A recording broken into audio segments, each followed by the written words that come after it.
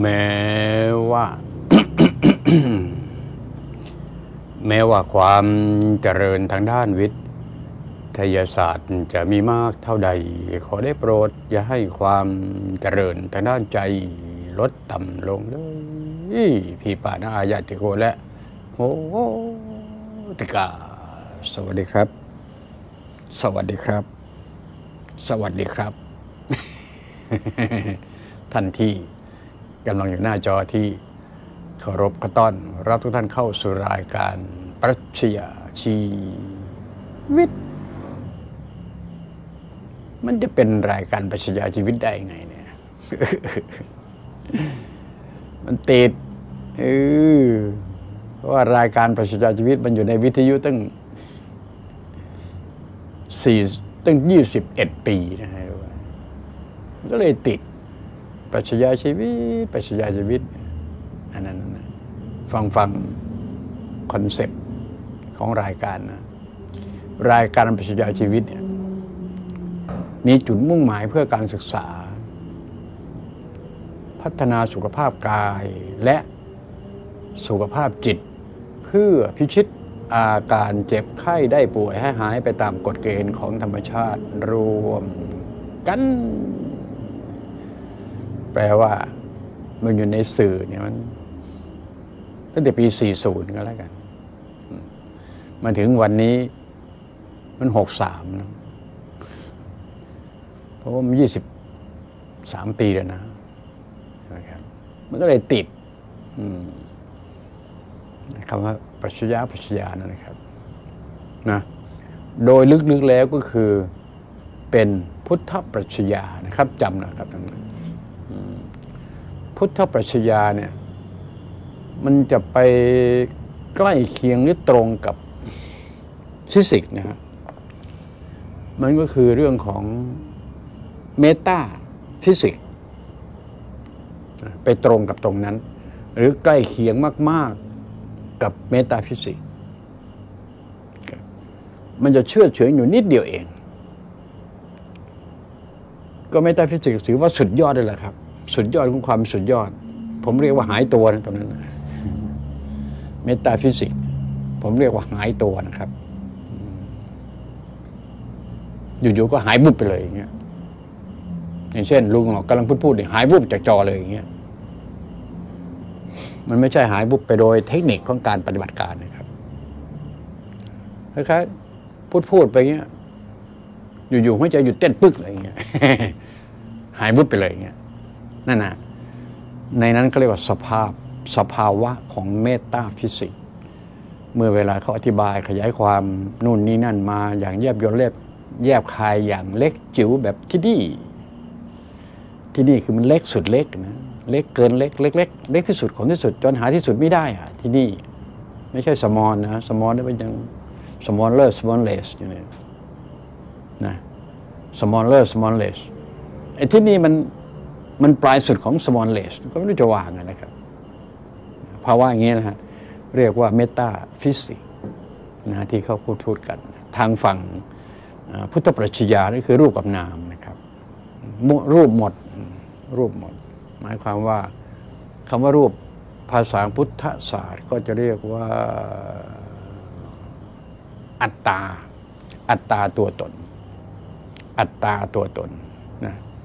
สุดอัตตา มันจะเป็นเป็นเป็นอนัตตานะครับนะสุดอัตตา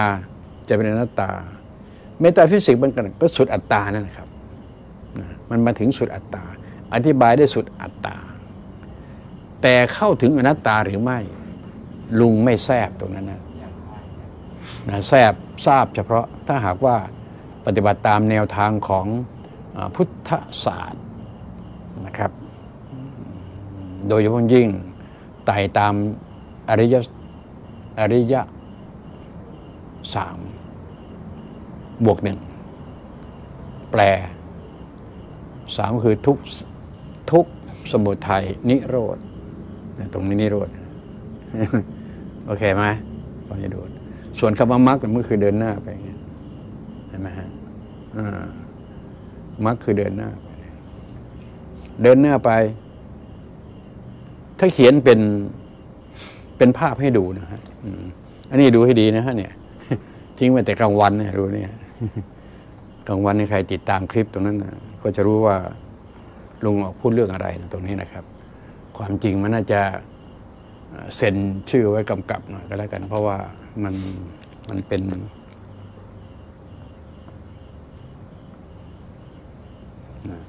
วันนี้วันที่สิบสามเนาะใช่เนาะ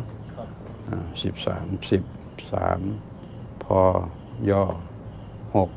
สามเขียนไว้เป็นหลักฐานสักนิดหนึ่งว่า วันนี้พูดถึงแหลมคมมากนะฮะจริง ๆ วันนี้จะได้นำเอาเอานักฟิสิกส์คนหนึ่งนะฮะที่เขามีคลิปมีอะไรต่างๆเอามาให้ดูเขาทำได้ดีมาก ๆ เลยครับ ดีโอ้โห ผมไม่เคยชื่นชมใครขนาดนี้นะ ภาพแอนิเมชันสุดยอดมาก ๆ เลย ในเรื่องของหลุมดำหลุมแดงเรื่องของ บิ๊กบง Big Bang before Big Bang อะไรต่างๆนะมันจะบอกในนั้นเสร็จสรรพเลย ภาพออกมาเป็นภาพครับ นั่นคืออีกเรื่องหนึ่งนะครับ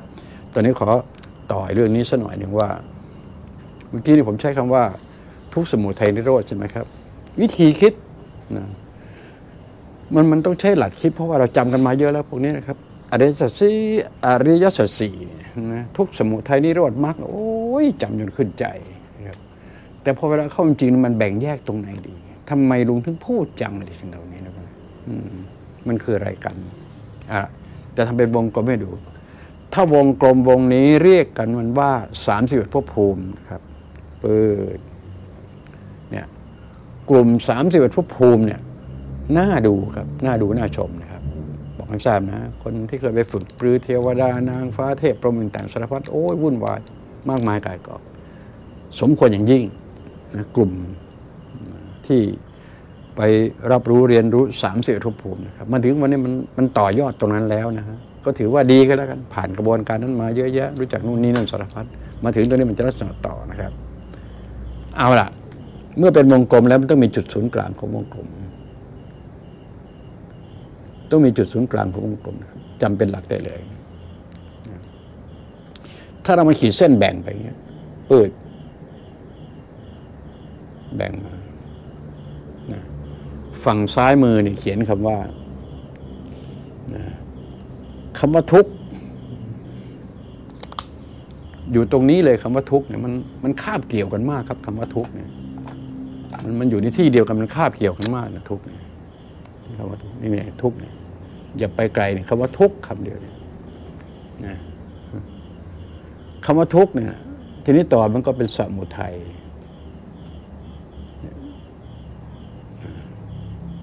ต่อไปนี่เป็นสมุทัย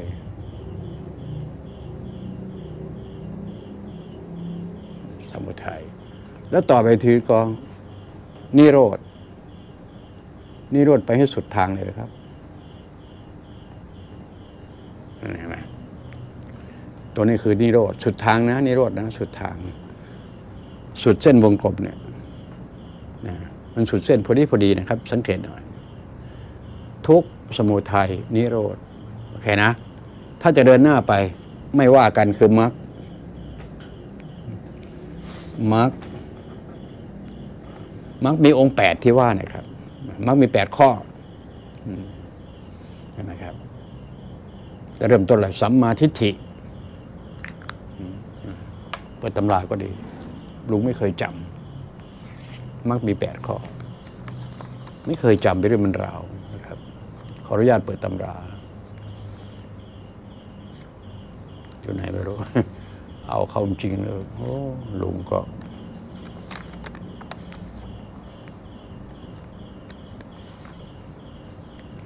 เอาเข้าจริงก็ลุงก็ โอ้นะอืม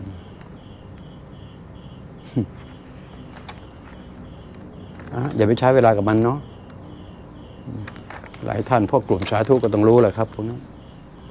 ต้องรู้กลุ่มสาธุไม่รู้ไม่ได้นะครับอริยสัจสี่ที่จำกันมาจำกันมา แต่ลุงบอกว่าอริยสัจสามนะครับ มันมันสามตรงไหนเนี่ยหนึ่งตรงเนี้ยหนึ่งทุกสองสมุทัยสามเนี่ยนิโรธนี่คือเลขสามนะฮะทุกสมุทัยนิโรธใช่ไหมถ้าบอกว่าถ้าเราหันหน้าไปฝั่งไป หันหน้าไปข้างอันนี้คืออนาคตก็ได้อนาคตอย่างเงี้ยฝั่งนี้ก็เป็นอดีตไป อดีต ก็คือเรื่องของอดีตนะครับจำนะครับ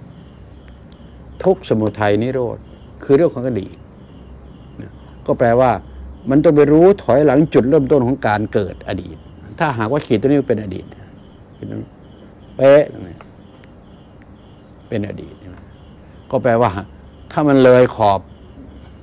นะโรคไปนี้ออกไป มันก็เป็นส่วนเนี้ยนะเป็นส่วนเนี้ยไอ้ตรงนี้แหละฮะ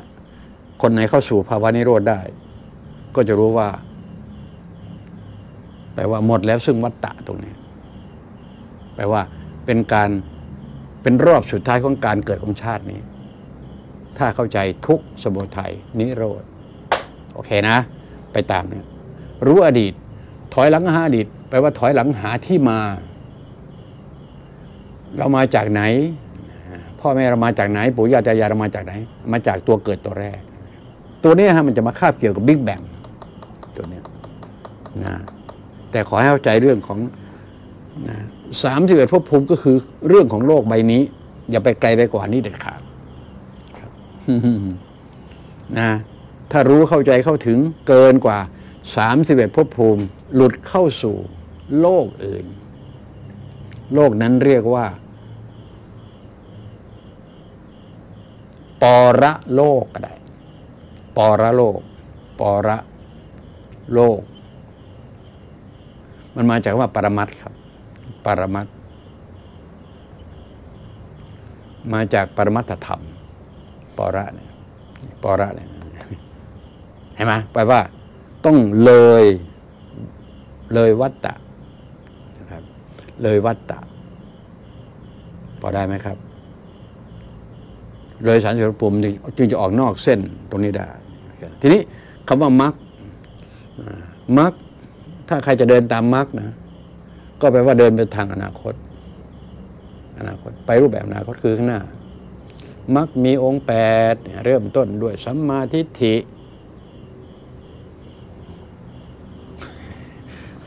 ว่าจะหาไม่เจออยู่ตรงไหน ลูกไม่ค่อยจำจริงๆพวกนี้มันไม่จำมันเข้าใจเข้าใจแล้วมันก็ไม่จำประมาณนั้นนะครับ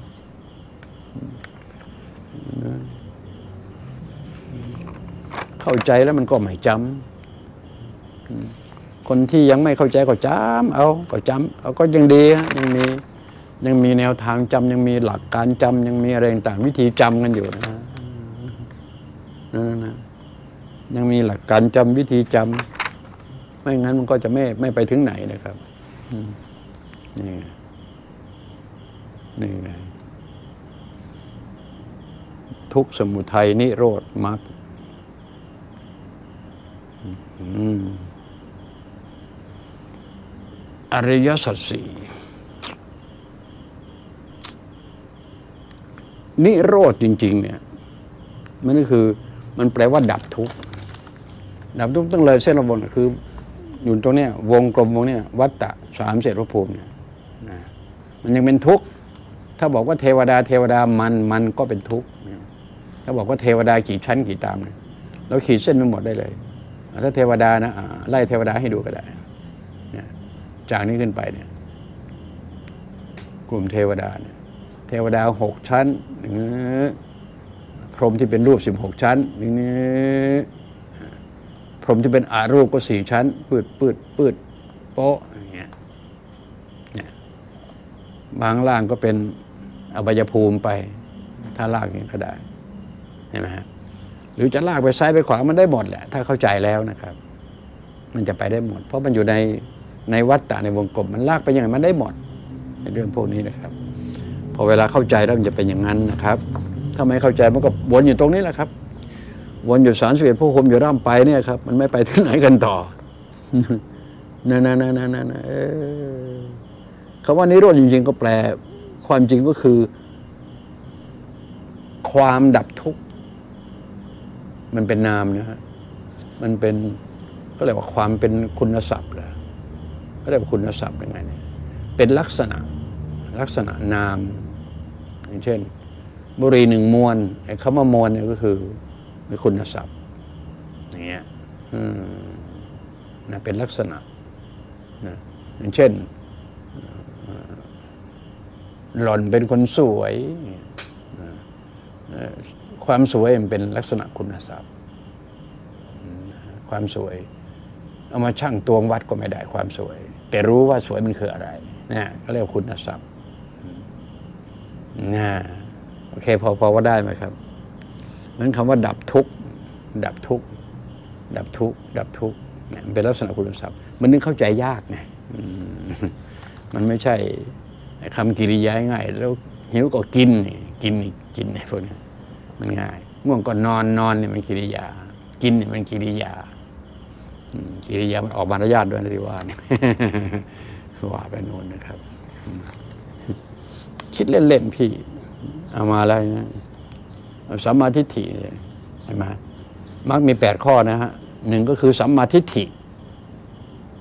สองคือสัมมาสังกัปปะ มักมีแปดข้อในเดือนหน้าสามก็คือ สัมมาวาจา แปลว่าอะไรต้องแปลบาลีไบาลานมาเป็นไทยแล้ว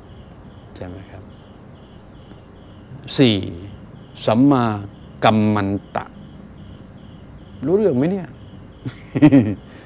ยกคนที่เรียนตรงๆมานี่แหละครับแล้วนะท่านมหารู้หมดทุกองค์นะครับ ที่ว่าเนี่ย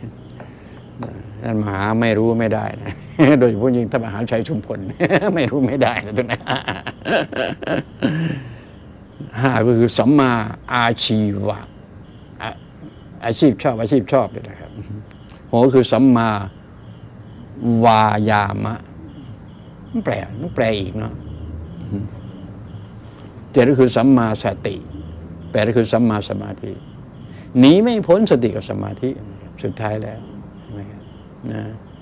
สมาธิจิตเนี่ยสมาธิจิต